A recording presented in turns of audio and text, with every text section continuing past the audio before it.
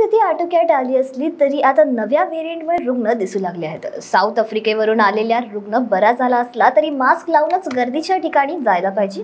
त्याचबरोबर स्वतःची काळजी सुद्धा घेतली पाहिजे असे आवाहन विजय वडेट्टीवार यांनी नागरिकांना केले. पुन्हा आपण आज कोरोनामुक्त होऊन स्वच्छंद फिरत आहोत पण रुग्णसंख्या नवीन व्हेरियंटमुळे काल खरं तर रुग्ण बरावून गेला मुंबईत सापडलेला.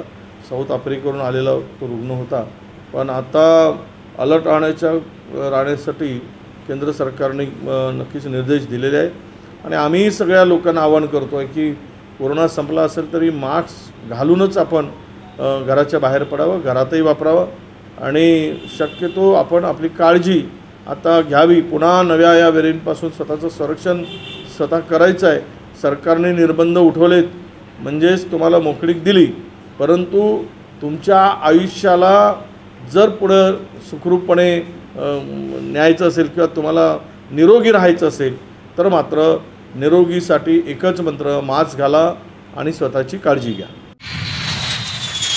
अपने सपनों की उड़ान भरने की इच्छा तो हर किसी की होती है। पर पंख भी तो मजबूत होने चाहिए।